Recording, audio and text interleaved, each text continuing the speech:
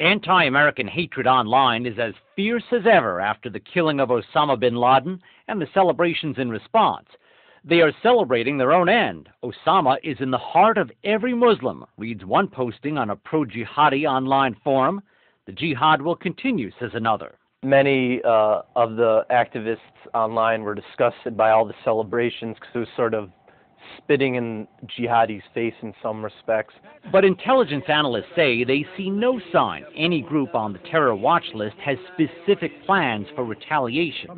A far more likely scenario, they say, is that individuals may now try to strike back.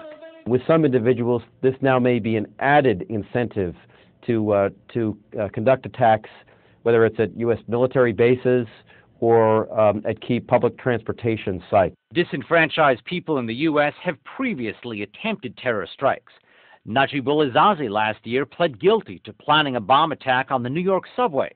Faisal Shahzad tried but failed to detonate a bomb in Times Square last year. They tend to be much less sophisticated in general. Such lone wolves tend to lack advanced bomb making capabilities. Analysts say they're more of a threat to engage in shooting attacks. Five men were convicted in 2008 of planning such an attack on soldiers at Fort Dix, New Jersey. The following year, it happened at Fort Hood, Texas.